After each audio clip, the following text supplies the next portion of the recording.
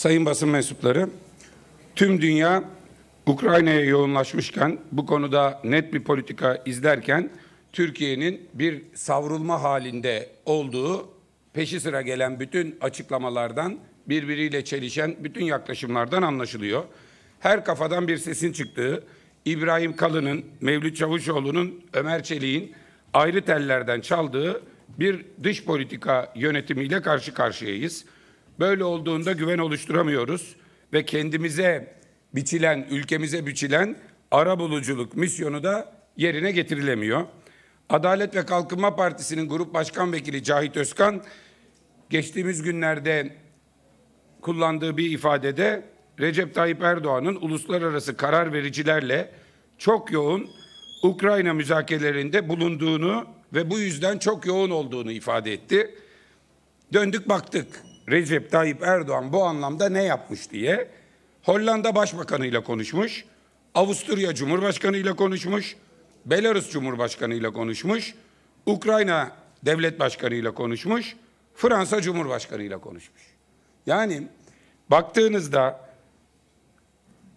tüm taraflarla görüşmesi beklenen, NATO'daki etkin karar vericilerle görüşmesi beklenen Recep Tayyip Erdoğan'ın kayda değer ikiden fazla görüşmesi yok. Konuyla doğrudan alakalı ve çözüm masasında olacak, çözüm iradesine katkı sağlayacak iki tane görüşmesi var. Onun dışındakiler işte Avusturya ile görüşmesinin ne kadar katkı sağlayacağını değerlendirelim. Diğer taraftan da bir denge politikası gütmeye çalışıyorlar. Geçtiğimiz günlerde Rusya Büyükelçisi'nin meclise gelmesi, dostluk grubuyla görüşme yapmasının bir denklik içinde Ukrayna Büyükelçisi ile de benzer bir görüşmenin yapılması gereğini de hatırlatıyoruz. Yani meclis eliyle yürütülmeye çalışılan bu diplomasilerde de tam bir denge güdülecekse mutlaka bir mütekabiliyetin aranması ve bu dengenin de gözlenmesi ve gösteriliyor olması gerekiyor. Gerçekten ciddi bir savrulmayla karşı karşıya olan bir durumdayız. Ve maalesef Ömer Çelik yani o ülkede vatandaşlarımız için, o ülkedeki öğrencilerimiz için, gençlerimiz için gerekenin yapıldığını söyleyen ama bu konuda bir operasyonu algı operasyonu olarak yürüten Ömer Çelik hatada, nezaketsizlikte, özür dileyerek söylüyorum tırnak içinde terbiyesizlikte ısrar etmektedir. Kendisi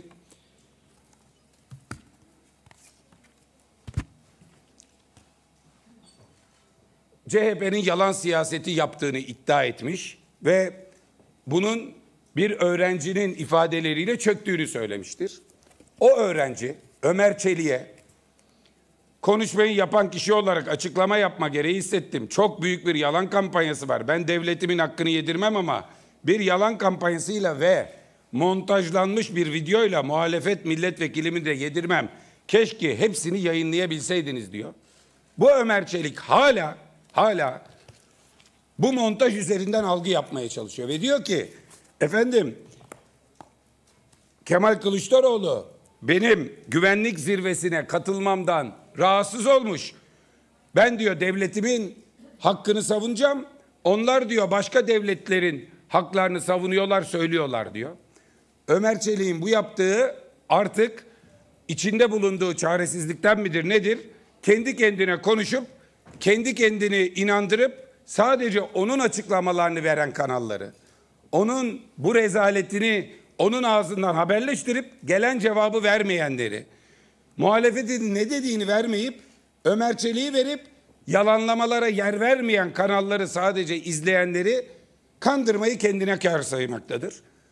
Bunun karşısında bütün gücümüzle durmaya ve bu inanılmaz tutumu deşifre etmeye devam edeceğiz. Washington'un öngördüğü, Paris'in öngördüğü, Roma'nın öngördüğü, Londra'nın öngördüğü, Berlin'in öngördüğü, Ankara'nın öngöremediği bu hal ve Ukrayna'da yaşanan vatandaşlarımızın düşürüldüğü bu hal gerçekten hepimiz için bütün dünya önünde Türkiye'yi sıkıntıya sokan bir durumdur. Oradan yayınlanan her video, her isyan, geçen sefer Adalet ve Kalkınma Partisi'ne oy verip de Ukrayna'da bu halde düşürülmüş ve bırakılmış insanların yaptıkları isyanlar Bizim içimizi sızlatıyor, bizi utandırıyor ama Ömer Çelik'i utandırmıyor. Ve o devam ediyor. Devam etsin. Milletimiz neyin ne olduğunu görüyor. Ömer Çelik'e bir teklifte bulunalım mesela. Bir akşam Twitter'da Belarus, e, Ukrayna ile ilgili sohbet odaları var gençlerin. Bir girsin, mesela birlikte girelim tartışalım. Yapamaz. Bir girsin, bir dinlesin, gençleri cevaplasın. Ukrayna'daki gençleri yapamaz. O zaman şunu söylüyorum. Ömer Çelik, madem cesaretin yok, karşımıza çıkmıyorsun, oraya girip gençlerle konuşmuyorsun. Bir danışmanın ismiyle gir, dinle, bari kendini daha fazla rezil etme. Neler konuşuluyor? Bir şeyler yaptık diyorsunuz oradakiler neyin nasıl yapıldığını, neyin yapılmadığını, başka ülkelerin nasıl davrandığını, sizin nasıl davrandığınızı anlatıyorlar. Bir görelim bakalım. Ve çaresizlikten çıkmış, güvenlik zirvesine katılmasını savunuyor ve halen daha, halen daha Cumhurbaşkanının sözcüsünün, Cumhurbaşkanının, Dışişleri Bakanı'nın yapması gereken açıklamaları Adalet ve Kalkınma Partisi sözcüsü sıfatıyla yapıyor. Yani parti devletini perçinlemek, demokrasinin tabutuna bir çivi daha çakıyor. Bir çivi daha çakıyor her gün. Dün Üsküdar ilçeleri beş okulda sergi açtılar. Kendileri paylaştılar. Biz şikayet edince sergiyi kaldırdılar. Paylaşımı sildiler. Sonra da diyorlar ki efendim işte öyle değil böyle değil. E şimdi Ömer Çelik AK Parti sözcüsü olarak kalkıp devletten beklenen açıklamaları parti sözcüsü olarak yaparsa mesela kuzey bölgesindeki yerlerde oturan vatandaşlarımızın Rusya ile müzakere ederek Rusya üzerinden bir havaalanına ulaşıp ülkemize getirilmesiyle ilgili müzakerelere başladık. Ya doğru. iyi bir şey. Bunu ben Dışişleri Bakanı'ndan duymalıyım. Dışişleri Bakanlığı'nın değerli sözcüsünden duymalıyım. Bunu ben hükümetten, hükümet sözcüsünden duymalıyım. AK Parti mi yapıyor da bunu AK Parti sözcüsüne açıklattırıyorsunuz? Bu kadar net bir şey söz. Başka ağzı dili olan biri yok mu? Şu bir cümleyi kurmak için de inadına AK Parti'nin önünde AK Parti'nin sözcüsü. Algı efendim AK Parti gidiyor Rusya ile görüşüyor. Vatandaşları AK Parti kurtaracak. Sinsilik de şu, devlet çuvalladı AK Parti kurtaracak. Devleti çuvallayan hale getiren kötü yönetim sizsiniz. Devletin yapmaya çalıştığı, yapması gereken işleri de sahiplenerek iyice bu işi işin içinden çıkılmaz bir hale getiriyorsunuz. Ayıptır. Yapılan şey güvenlik zirvesi değildir. Güvenlik zırvasıdır. Güvenlik zirvesine tüm kurumlar katılır. Tüm tüm kurumların katılması doğrudur. Dışişleri Bakanı Covid diye güvenlik zirvesinde Dışişleri Bakanlığı'ndan tek kişi yoksa o zirve oranın adı zirve olmaz, zırvalamak olur. Dışişleri Bakanlığı'nın olmadığı Ukrayna-Rusya tartışmasını yapıyorsanız, Fahrettin Altın'ı oraya oturtuyorsanız, Fahrettin Altın benzeri bu sistemin türettiği, ürettiği ve bu konuda liyakatsiz tipleri oraya dolduruyorsanız olmaz bu. AK Parti'nin sözcüsü, AK Parti'nin grup başkanı, AK Parti'nin genel başkan vekili. Saçmalığın dik alası. Ne işi var orada? O zaman bizimkileri de çağırın. Bizimkileri çağırmıyorsanız devlet olmaktan çıkmışsınız. Efendim devlet olarak güvenlik zirvesi yaparsanız biz zaten bizi çağırın demeyiz. Siyasileşmesini doğru bulmayız. Ama bir siyasi partiye açıyorsanız orada başka bir yanlışın içindesiniz. Bunu görmek lazım. Bir de o güvenlik zırvasından sonra 8. gündeyiz. Geldiğimiz noktada ne yapıyorsunuz? Ne oldu? Neyi başardınız? Ne noktaya geldiniz? Bütün dünya net tutum takınmalıdır. NATO bir şey yapmalıdır. NATO bir şey yapıyor çekimser kalan tek ülke. Yani Ermenistan'ı saymıyoruz o destek verdi. Çekimser kalıyorsun herkes bakıyor ya kardeşim NATO aktif tutum sergilemeli cesaret göstermeli adam ben hadi arkadaşlar siz hep beraber bir şey yapın ama ben yokum. Neden Putin'den korkuyorum? Neden? Dondurur beni. Gazın vanası elinde, nükleer santralin şalteri elinde, teknolojisi elinde, turist onda, turizm onda, bilmem ne onda, domates satacağım Putin'e, narenciye yollayacağım Putin'e, hadi siz bir yana ben bu yana. Böyle olmaz, bu denge diplomasisi olmaz. Ve vatandaşlarımız hatırlarlar bu hale bir ziya düşmüştü, bir ziya. Hangi ziya? Karı koca kavga ederler. Turşu öyle mi yapılır böyle mi yapılır diye. Rahmetli Adile Naşit, Münir Özkul. Bir ziya vardır iki tarafı birden idare etmeye çalışan. Yıllarca başarır bu işi bundan da beslenir. İki durumda çuvallar. Bir kavga ettiklerinde hangi tarafı tutacağını bilemediğinden bir de barıştıklarında aslında ne kadar samimiyetsiz olduğu görüldüğünden, ne kadar çıkarcı olduğu görüldüğünden. Türkiye İran-Irak savaşında yıllarca Irak'ın tezlerini Tahran'da, İran'ın tezlerini Bağdat'ta savunup çıkarlarını savunup hakkaniyetle savunup iki tarafta da güven uyandıran Türkiye'nin düştüğü hale bakın. Ziya enişte bir o yanda bir bu yanda. Bütün dünya bir yerde bizimkiler başka bir işin peşinde. Geldiğimiz nokta gerçekten yönetilmeyen ve savrulan bir politikanın nasıl çuvallandığının görüldüğü bir yerdir.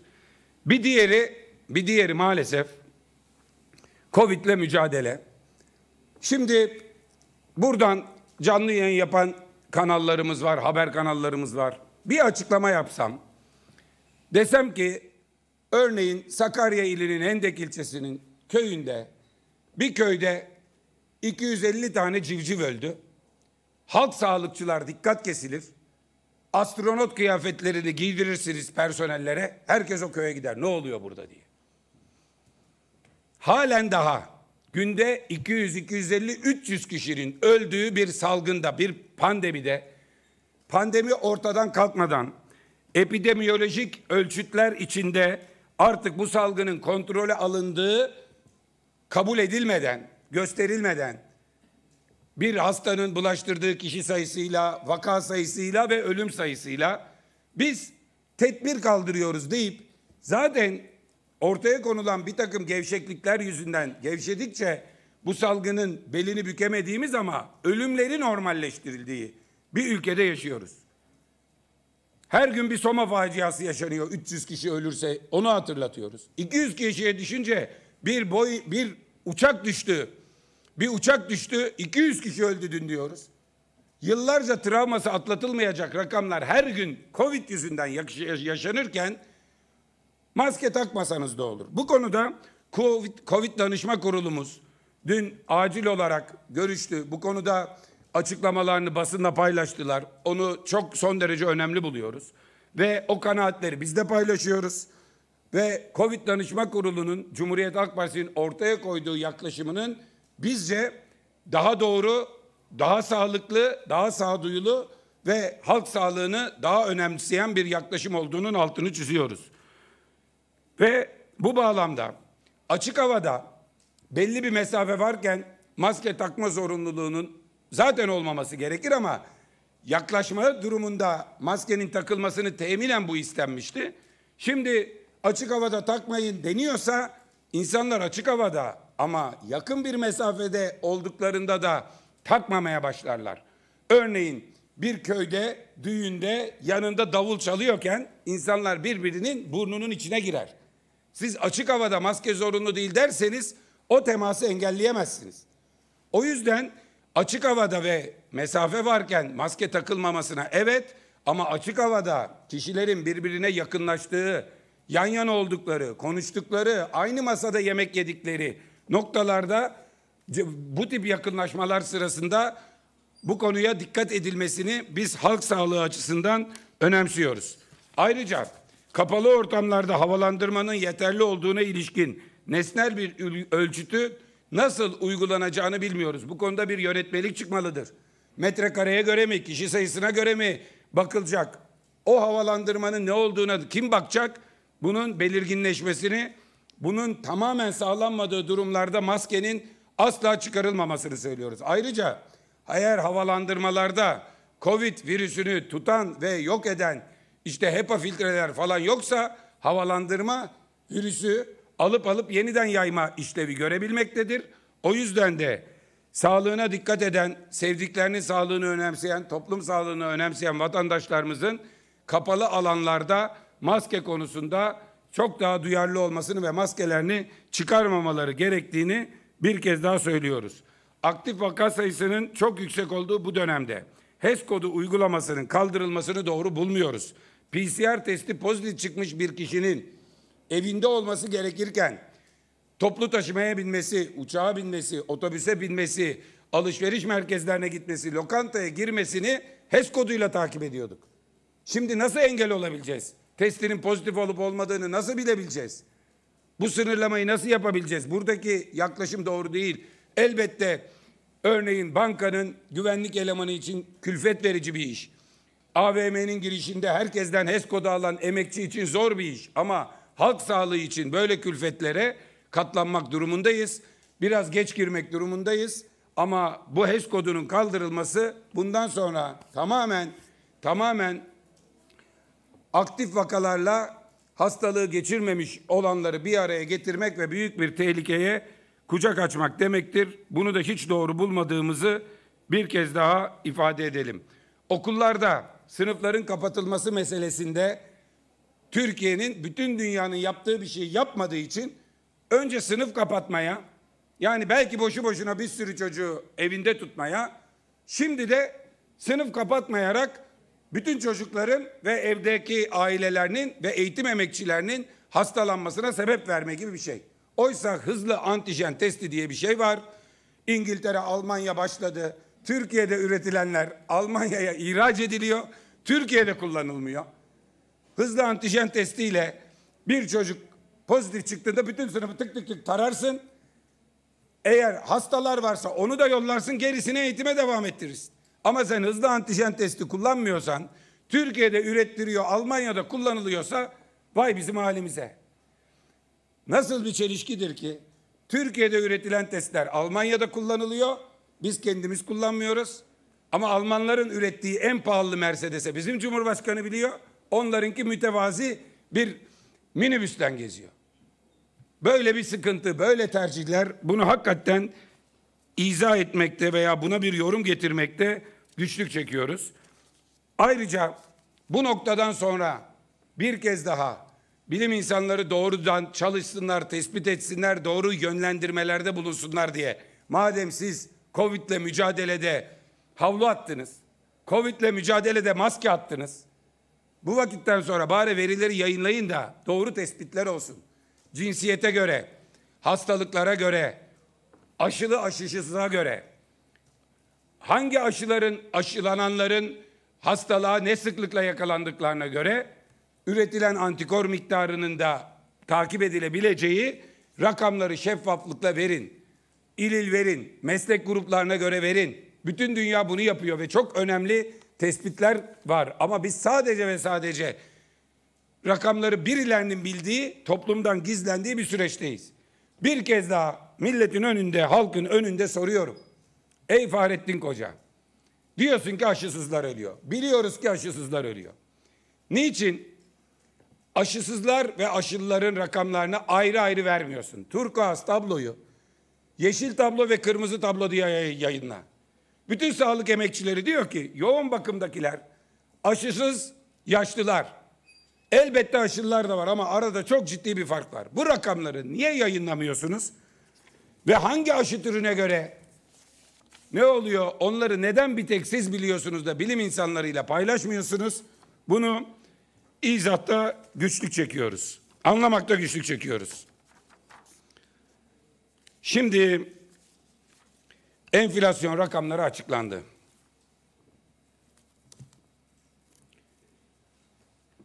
Türkiye'de enflasyonun tarihi. Türkiye Cumhuriyeti Merkez Bankası. Bu kitabın tanıtımını hatırlıyor musunuz? Bu kitabı enflasyon tarihi oldu. Enflasyonun tarihi diye kitap çıkardık demişlerdi. Kim yaptı? Recep Tayyip Erdoğan. Peki enflasyon tarihi olmuştu ya. Aslında bir gerçek var bilelim. Büyük bir şok yaşandı, büyük bir kriz yaşandı.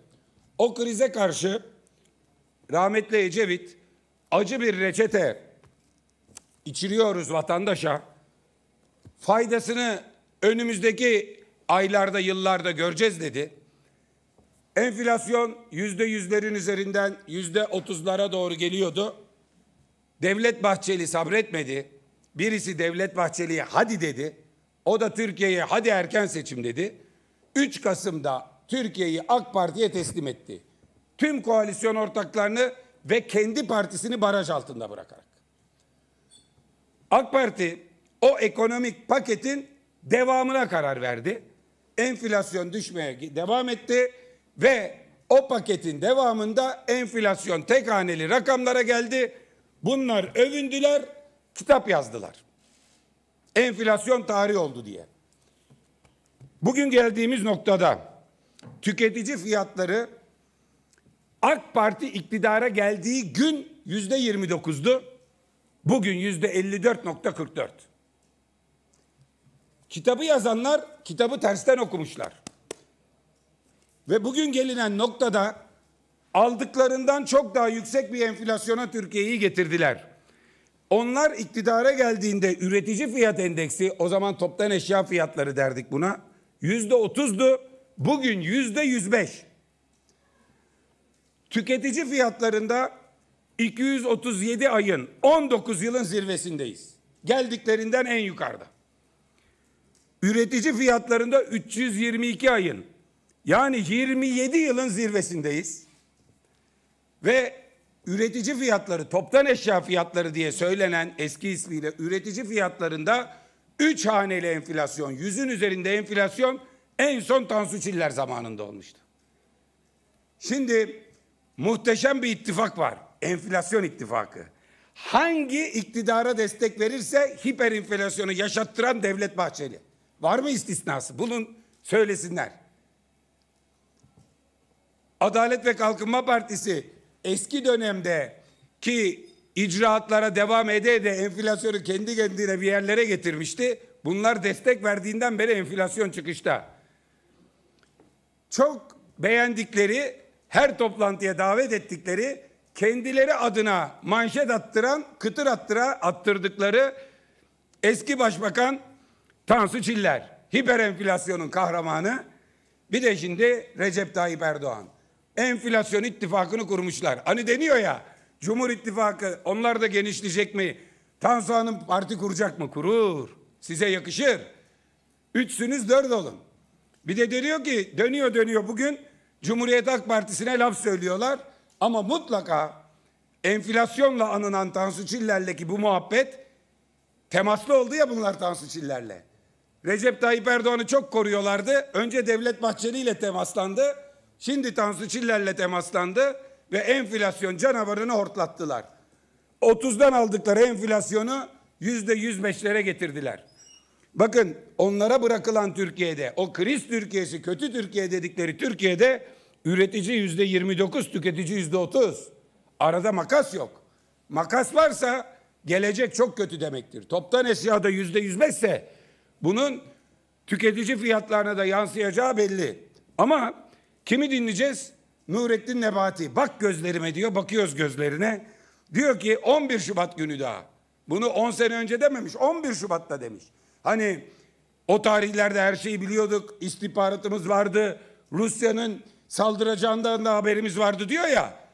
AK Parti sözcüleri öyle diyor. Herhalde ekonominin başındaki adam da bunu biliyordur. Bundan 20 gün önce daha diyor ki enflasyon yüzde 50'yi görmeden zirve yapacak dönecek. Zaten yüzde 48'de 49'dan dönecek dedi. Bugün açıklanan rakam enflasyon yüzde 54 44 55. Hani görmeyecekti 20 gün önce diyordun. Bütün rakamlar elinde, bütün bilgiler elinde ama dönüyor enflasyon 50'yi görmeyecek diyor 54 ve bütün göstergeler gelecek ay yüzde 60'ı da aşacağını ve bu felaketin süreceğini gösteriyor. Bir tek Recep Tayyip Erdoğan diyor gelecek ay düşecek, gelecek ay düşecek. Önceki bakan ve halen damadının o meşhur hikayesi vardı.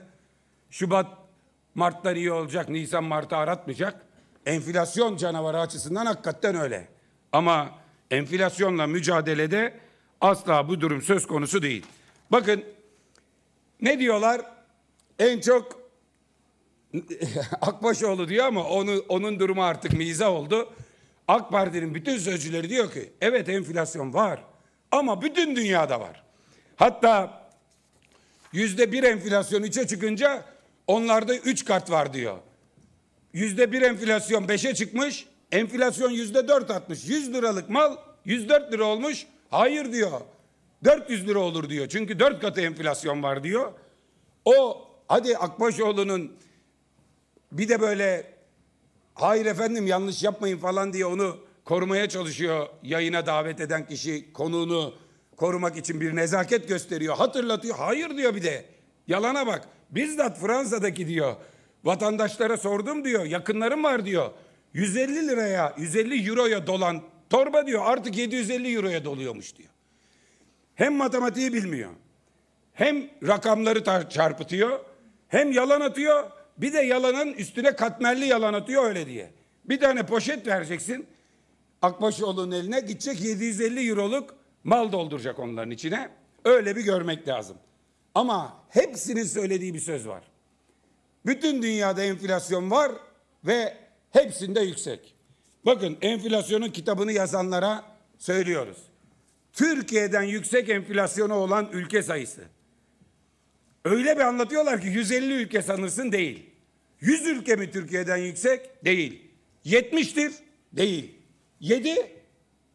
70 değil 7. Ve bu 7 ülke kim? Ben söyleyeyim. Ömer Çelik yine bundan utanmasın. Surinam, Zimbabwe, Küba, Suriye, Lübnan, Sudan, Venezuela. Bu yedi ülke dışında enflasyonu Türkiye'den yüksek ülke yok. Her geçen günde sayıları azalıyor. Nebati'nin gözlerinin içine bakıyoruz. Gelecek ay sadece Surinam'la Zimbabwe kalabilir. O yüzden herkes ne yaptığına dikkat edecek. Şimdi buradan bizi dinleyenlere başta Adalet ve Kalkınma Partisi'ne, MHP'ye oy veren çiftçilere bir şikayetimiz var. Özellikle buğday ekip, buğday biçip hepimizi doyururken kendi çocukları aç kalmasın diye bekleyen Türk çiftçisine, buğday üreticisine bir haberimiz var. Bir şikayetimiz var. Dün Toprak Mahsulleri Ofisi, TMO, buğday ithalatı için ihale açtı ve 445 dolar yani 6300 liraya buğday ithal edecekler. 6300 lira. Peki sizden kaça alıyorlar? 2250 liraya. 6300 liraya ithal kararı aldılar. Bizim çiftçimizden 2250 liraya alıyorlar.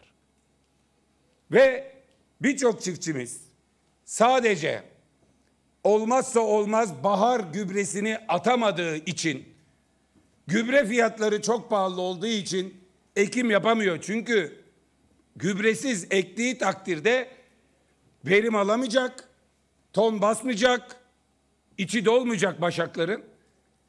Birçok insan bugünkü gübre fiyatlarından buğday ekemezken onlara 2250 lirayı layık görenler dışarıdan 6300 liraya buğday almaya karar vermişler. Daha bir şey söylemez. Bunun üstüne daha başka bir şey söylenemez. Bu rezalet, bu çiftçimize ihanet, Türk çiftçisini öldürme, bizi aç bırakma, ithalatçıyı zengin etme formülü. Hala bunları düşünebilen bir iktidarla karşı karşıyayız.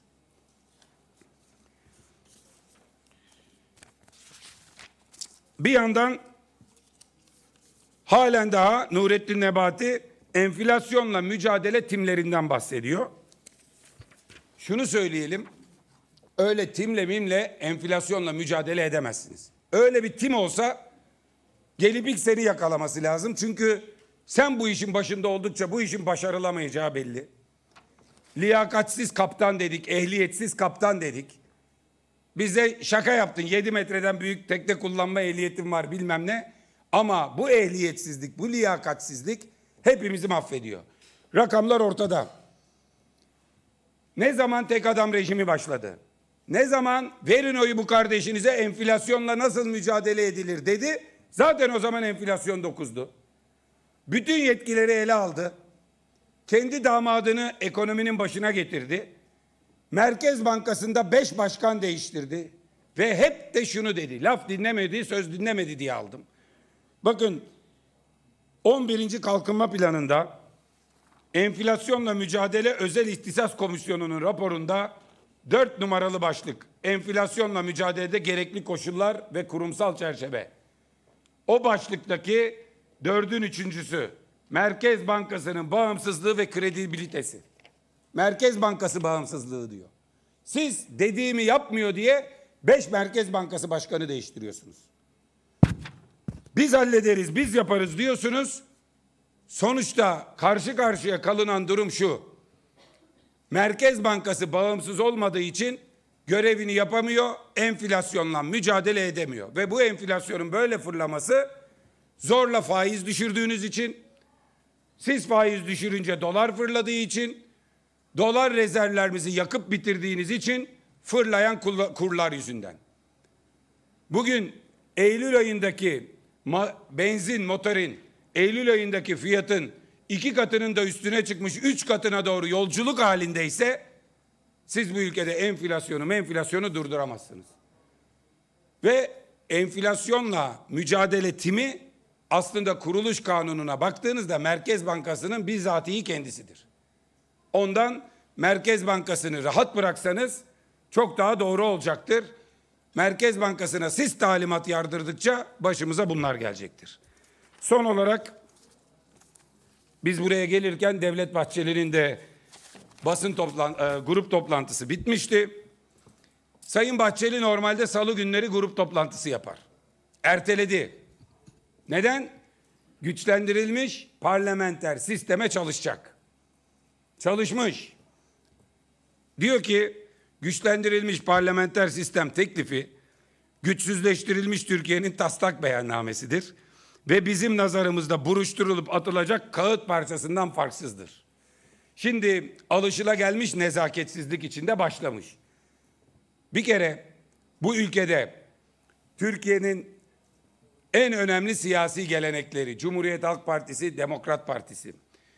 Senin geçmişte küfrettiğin, nefret ettiğin, bir anda çark ettiğin ve yanına geçtiğin AK Parti'ye gidişine itiraz olarak bir duruş göstermiş İyi Parti'nin seçmenlerinin yolladığı partiler bunlar. Burada bulunuyorlar. Milletvekilleri var.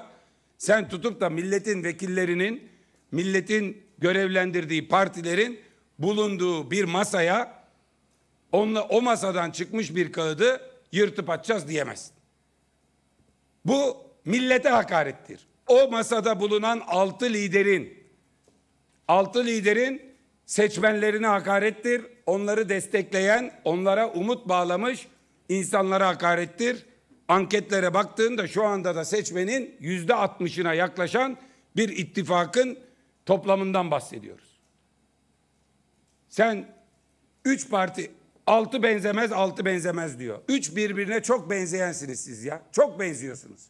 Her geçen gün birbirinize biraz daha benziyorsunuz. Bir fotoğrafınızı görelim. Niye bir üçlü fotoğrafınız yok? Destici yırtıyor kendini. Beni de alın, beni de gösterin. Ben de oradayım. Ben de şuradayım diye.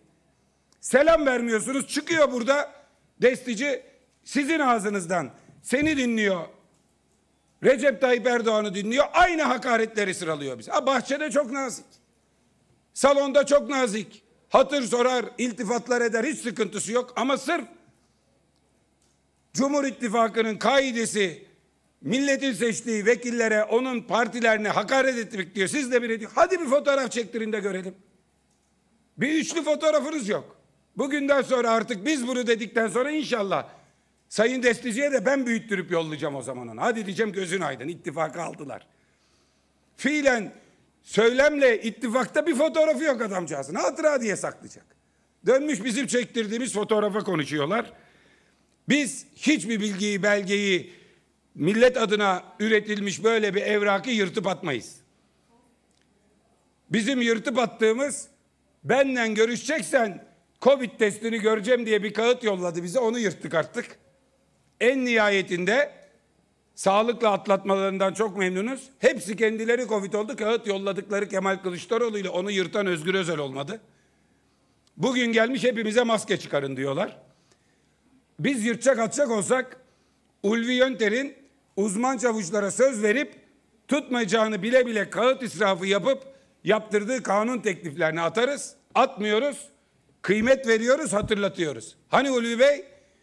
Meclisin uzman çavuşu yine arazi. Yine eğitimde yok, talimde yok. Hadi gel. Gel. Getir iki elimle oy vereceğim. Uzman çavuşların işini çözeyim. Yok. Yırtıp atacak olsak Arzu Erdem'in EYT teklifini yırtıp atarız. Verilen bir sözün tutulmadığının belgesi. Hadi Arzu Hanım getirsin. Ayakta çift elle oy vereceğiz. Yok ama bunları yapmayın. Milleti kandırın. Sonra bu krizden bu ülkeyi nasıl çıkarırız diye çalışılmış, mütabakata varılmış, millete arz edilen bir belgeye hakaretler sıralayın. Bizi bu ittifaka millet itiyor. Millet itiyor. Çünkü sizden kurtulmak istiyor. Sizin gibi dün birbirine sövenleri hiçbir şey değişmeden bir araya getirip birbirine iltifat ettiren kim? Sizi arkanızdan kim itiyor? Hangi güçler? Hangi mahfiller? Hangi derinliklerden geldi bu talimat? Bir ona cevap verin. Ondan sonra bizi o masaya kim itiyormuş? Altı lider, birbirinden farklı altı siyasi parti, birbirlerine birer küçük nazik adım attılar ama demokrasiye çok büyük bir adım attılar. Bu ülkeyi tek adam rejiminden kurtaracak olan masa ve mütabakat oradadır.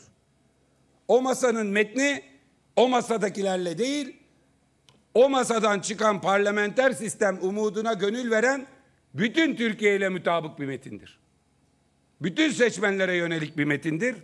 Bizi krizden kurtaracak, bizi enflasyondan kurtaracak, bizi komşularla savaştan kurtaracak, bizi baskılardan kurtaracak. Metin ve duruş güçlendirilmiş, dünyadaki iyi örneklerine bakılmış, en iyi yönleri alınmış, eskinin sizin 16 Nisan'da rejime kastettirdiğiniz anayasa değişikliğinden önceki günkünü de beğenmediğimiz, onun da yanlışlarını düzelttiğimiz, 12 Eylül'ün tortularını kazıdığımız, enkazından kurtulduğumuz yepyeni ve milletin kararıyla, desteğiyle, onayıyla hayata geçecek olan bir demokrasi belgesinin peşindeyiz.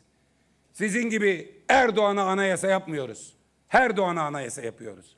Bizim derdimiz Erdoğan'dır. Bahçeli'nin derdi Erdoğan'dır. Düne kadar kafaya takıp küfredip sövdüğü, en ağır hakaretler ettiği Erdoğan'la birlikteliğinin izahı 15 Temmuz gecesi değildir. 15 Temmuz gecesi onlardan önce mecliste olan 15 Temmuz gecesi darbeye en açık karşı çıkan Cumhuriyet Halk Partisi iken kendisi 15 Temmuz'dan önceki Mart'ın 9'unda AK Parti'ye selektör yapıyorsun. Partin kapatılmasın diye AK Parti'nin anayasa değişikliğine yaklaşıyorsun. Eleştirimize hakaretler yağdıranlar. Biz 15 Temmuz'a kadar muhaliftik. 15 Temmuz'da ittifak olduk demesinler. 5 ay öncesinden neler söylediğiniz ve bizim bunu nasıl söylediğimiz ortadadır. Bugün koşa koşa bir araya gelecekler. Bakalım saat 14'te iktidarda tutunabilmek bu milletin hiçbir yarasına merhem olmadan ama inadına inadına giderek bu milletin aleyhine bir iktidarı sürdürmek için bakalım nasıl bir planın, nasıl bir mütabakatın ürününü önümüzdeki günlerde karşımıza çıkaracaklar. Ne çıkarsa çıksın kazdıkları kuyuya düşecekler. Bu iktidardan gidecekler. Milletimiz bilsin ki sizin aşınıza, sofranızdaki ekmeğine, çocuğunuzun harçlığına göz dikip sizden alıp zengine verenler. Maaşla maaş alan herkese söylüyoruz.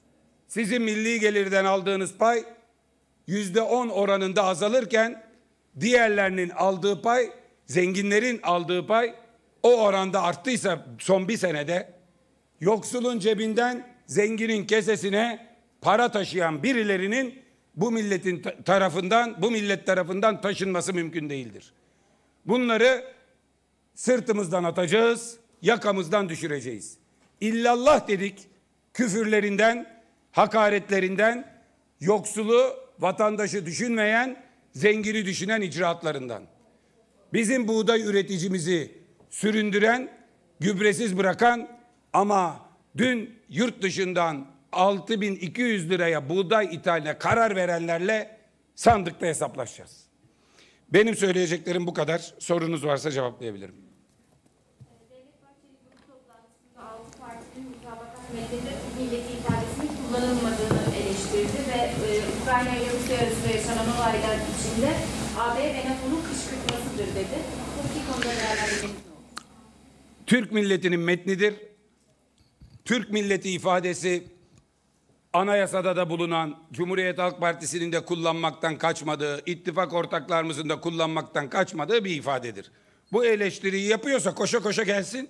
Çünkü onun hayatı benim parlamentoda olduğum 2011-2017 arasında 6 yıl boyunca Tayyip Erdoğan milletimiz deyince bu milletin bir adı yok mu derdi bunlar. Türk milleti demekten AK Parti'yi kaçmakla suçlarlardı. Tutanaklardan onlarcasını 15 dakikada fosforlarım size. MHP'nin en temel eleştirisi AK Parti'ye Türk milleti demiyor. Bunlar milletçi değil ümmetçi. Ne oldu? Kol kola girdi. Türk milleti demeyenlerin baş destekçisinin Türk milleti kelime hassasiyeti gerçekten şaşırtıcı. Devlet Bahçeli bu milletin bir adı yok mu diye kaç kere sormuş Recep Tayyip Erdoğan'a. Bugün 14'te sorsun bakalım ne diyecek. Diyebiliyor muymuş artık. Bizim bir sorunumuz yok. İkincisi vah ki vah Devlet Bahçeli dış politikaya da başladıysa bunun artık ne Ukrayna'ya ne Türkiye'ye ne tüm dünyaya onların girip de karışıp berbat etmedikleri bir alan yok. O yüzden Devlet Bahçeli kendi bildiği hakaret, iftira ve küfür alanıyla sınırlı kalır. Diplomasi alanını da ehillerine bırakırsa. Biz muhalefet olarak bu konudaki çok ehil bir kültürü savunuyoruz. Karşımızdakiler de biz biliriz, biz biliriz deyip bir yanlışı savunuyorlar. Bizim yol göstermemizle, bizim önemli katkılarımızla belki bir parça daha doğru bir diplomasi izlenebilir. Ama küfürbazların dili diplomasi dili olamaz.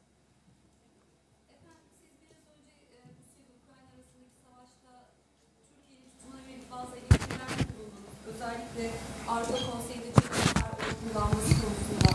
Ben şunu sormak istiyorum. Mesela CHP iktidarda olsaydı bu krizlerin e, çözülmesi noktasında somut olarak neler önerirdi? Ya da mesela e, boğazların kapatılmasını mı düşünürdünüz? Türkiye'yi Rus hava sahasına kapatır mıydınız? Biraz CHP'nin bu konudaki somut adımlarını öğrensek fikir olarak. Sizden daha şanslı olanlar var. Siz yakın takip etmediyseniz Adalet ve Kalkınma Partisi bunları biliyor. Dünkü kapalı oturumda da bunlar tane tane tane anlatıldı ve çok istifade istifade edildi bu e, ifadelerden. Biz ayıptır söylemesi Montreux'ün mimarıyız. Ayıptır söylemesi Mustafa Şentop'un da dahil olduğu bir ekip geçen sene Montreux'u tartışmaya açmıştı. Montreux hassasiyeti gösteren amiralleri ordu evine sokmayanlar, lojmanından atanlar, mahkemeye verenler, hapse atmaya uğraşanların bugün Cumhuriyet Halk Partisi'nin emeğiyle, geçmişiyle ve bugüne kadarki net savunusuyla Montreux'u nasıl tarif ettiği ortada. İkincisi Cumhuriyet Halk Partisi eğer iktidarda olsaydı bir kez Suriye'de bu savaş yaşanmıyor olurdu. Onu bilin. İkincisi Ukrayna ile Rusya arasında hatta Rusya ile ABD arasında bir sarkaç diplomasisiyle bir onun kucağında öbürüne uzak, bir onun kucağında öbürüne uzak gidilmezdi. Ve gerçek anlamda doğru güven veren bir diplomasi yapılıyor. Ara bulucu olayım diye yalvarılıyor değil, davet ediliyor olurdu davet alıyor olurdu. Geçmişteki örneklerde olduğu gibi. Cumhuriyet Halk Partisi olsaydı komşunun iç işlerine karışma, toprak bütünlüğüne saygılı ol, devlet dışı unsurlarla muhatap olma sacaya terk edilmemiş, işit Türkiye'nin başına bela edilmemiş, sınırlarımız kevgire dönmemiş ve emin olun 6 milyon sığınmacı da Türkiye'de bizim yoksulumuz yerine bakılıyor değil, kendi ülkelerinde barış içinde yaşıyor olurdu. Eğer Cumhuriyet Halk Partisi iktidarda olsaydı hem enerjide Rusya'ya bağlı ba- bağımlılığımız çok fazla tespitini yapıp hem nükleer santrali Rusya'ya yaptırmazdı. Hem bu tespitleri yapıp dünyanın en pahalı gazını anlaşmalarla Rusya'dan almıyor olurdu. Nükleer santralin çalışanı ondan, teknolojisi ondan, hiçbir bilgisi paylaşılmadan ama radyasyonu böğrümüze saplanarak Türkiye'de yapılıp alım garantili elektrik anlaşması yapılmaz. Çok biliyorsan kendin yap bana elektriği sat denir. Eğer gerçekten enerjide milli olacaksa riskler dağıtılır, alım paylaştırılır. Şimdi Ukrayna'nın yanında haksız yere işgal edilmiş Ukrayna topraklarında Ukraynalıların haklarını savunabilmek için korku içinde kalınmaz. Bütün dünyaya net tutum sergile derken orada tarihin önündeki o çekimser oy kullanılmamış olurdu. Eksik varsa özür dilerim. AK Partililerden CHP'nin 7 ana başlıktaki güzel çözüm önerilerini sorun. İnanın çok istifade ettiler. Ee, siz de istifade edeceksiniz.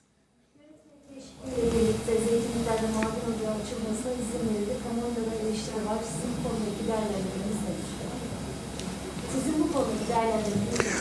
Bizim bu konudaki değerlendirmemiz şu. Daha önce de defalarca söyledik. Benim görev yaptığım dönemde dört kez aşağıda da söylüyorum bir kişi de söz alıp ya böyle olmadı demiyor. Bu madde kanun maddesi olarak geldi. Zaten emin olun bu kanunda yapılırsa olabilecek bir şey. Biz bu yönetmeliği arkadaşlarımız başvuru dilekçesini hazırladılar. Danıştay'da iptaline gideceğiz. Kanunla düzenlenecek yönetmeliği, kanunla düzenlenmesi gereken bir işi yönetmeliğe koymalarının sebebi o kanunu buraya dört kez getirdiler, dört kez geri çekildi o madde. Kimi gece yarısı, kimi ertelenip birkaç gün sonra, kimi görüşmeler başlamadan, kimi son anda. Neden? Çünkü Çanakkale'nin, Balıkesir'in, Manisa'nın, Muğla'nın, Antalya'nın, Hatay'ın, Osmaniye'nin zeytin üreticileri milletvekillerine veya zeytinliklerine sahip çıkan insanları milletvekillerine o kadar yoğun telefonlar açtılar ki ne yapıyorsunuz diye. O milletvekilleri zaman zaman o söylediğim birkaç ilin milletvekili bir araya gelip işte saraya gidip partilerine gidip rica edip o kanunu geçirmeyelim çok tepki var memleketimizde dediler. O yüzden o kanun buraya gelmedi. Milli iradenin milli duruşuna inat gidilip yönetmelikle getirildi. Neye güveniyorlar? Danıştay'daki yandaşlaştırdıkları, baskı altına aldıkları hakimlere güveniyorlar. Biz de o hakimleri tarih önünde bir test edeceğiz bakalım. Danıştay'da o dosya nereye gidecek ve ne karar verecekler? Eğer yönetmelikle oluyorsa 10 senedir madenciliğin zeytin alanlarında yapılmasına ilişkin ikide bir buraya dört farklı sefer neden kanunu getirdin? Çıkaraydın yönetmeliği. Olmadığını onlar da biliyor. Ama Danıştay'dan uygun daireye düşürttürürüz. Selamı söylarız. Zaten günü geldiğinde birlikte çay da topluyoruz. Bizim beşli çetede zeytinliklerde maden aramasına başlar. Danıştay'a başvuracağız. Tarihi bir karar verecekler göreceğiz. Bozarlarsa ne hala? Bozmazlarsa aynı o kanunu getirenler gibi tarih önünde onlar da sorumlu olurlar. Ha bu, bu kanun bir sene yürürlükte durur. O yönetmelik bir sene durur. Geldiğimiz gün o yönetmeliği yürürlükten kaldırırız. O yönetmeliğe güvenip zeytin alanında maden arayanın da hevesi kursağında kalır. Beşli çete 200. metrede kalır indirmeyiz onu. Daha cevhere ulaşamadan alacağız ellerinden o madenleri. O kadar net söylüyoruz. Cevhere ulaşamadan o madenleri ellerinden alırız. Hangi beşli çete üyesi veya dışarıdan birisi zeytinlik alanda maden araması için gayret ederse, tenezzül ederse onun hesabını da onlardan soracağız. Kanun önünde soracağız ama soracağız. Buyurun. e,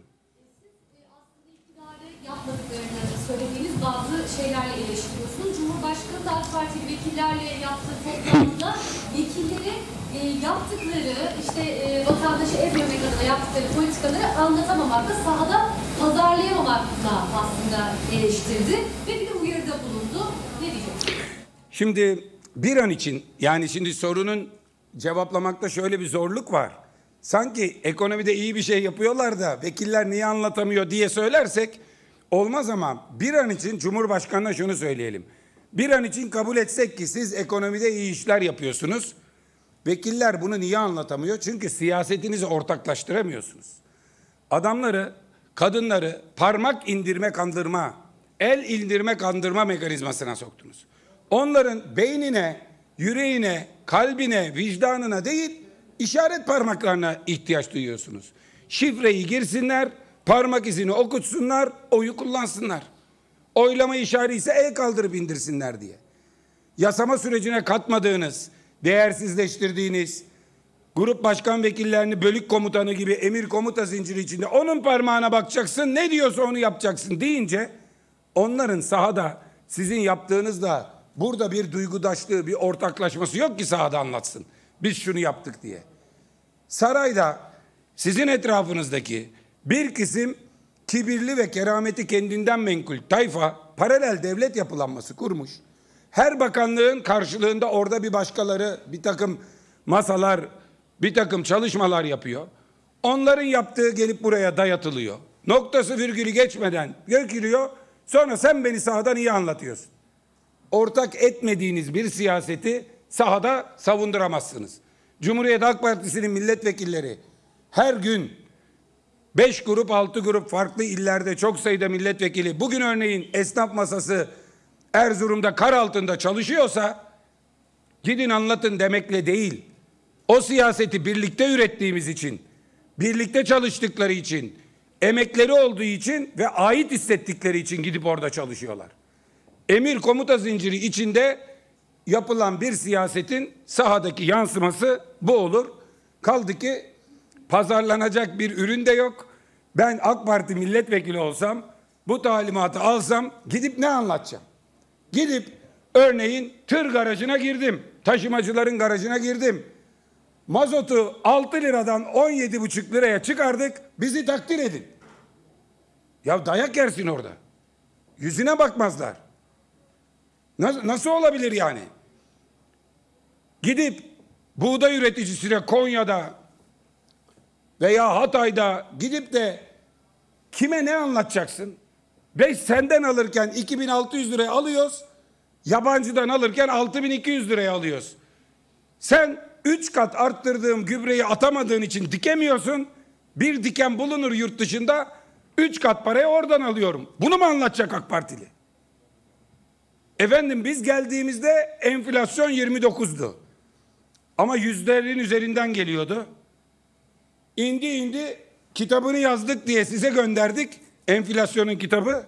Şimdi toptan eşyada yüzde yüzü de geçtik. Yüzde 55'e geldi tüketici fiyat endeksi TÜİK'in Tayyip Bey'i üzmeyen istatistik grubunun hesabıyla emin olun çok başarılıyız mı diyeceksin. Yani bir icraatın gidip anlatılması için o icraatın gerçekten iyi bir icraat olması, insanları memnun ediyor olması lazım. İnsanları kahreden kararları git anlat demek yani farklı partilerdeyiz ama hepsi milletin seçtiği vekiller. Böyle zulüm olur mu yani gidip git de bunu anlat diye. Olacak iş değil. Tabii buyurun. Şimdi Sağlık Bakanı basın toplantısında bakana müzik yasağıyla ilgili olan soru da soruldu gece 12'den sonra. Sağlık Bakanı dedi ki bu bilim kurulunun aldığı bir karar değil dedi ki nitekim bunu Cumhurbaşkanı açıklamıştı. E, toplantı sonrasında aslında gözler de hem bu içinde olduğu bir genelgeye çevrilmişti. Yeni bir karar çıkar mı diye.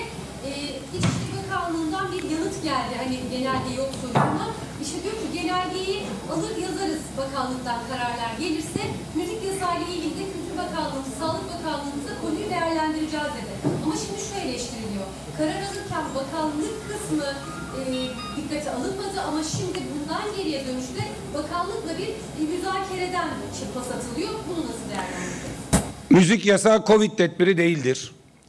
Müzik yasağı Covid tedbirleri sırasında normal şartlarda alınmasına kimsenin bir şey demeyeceği ama tedbirler kaldırılırken bırakıldığı için yaşam tarzına müdahale olduğu konusunda hiçbirimizin şüphesi olmayan bir yasaktır.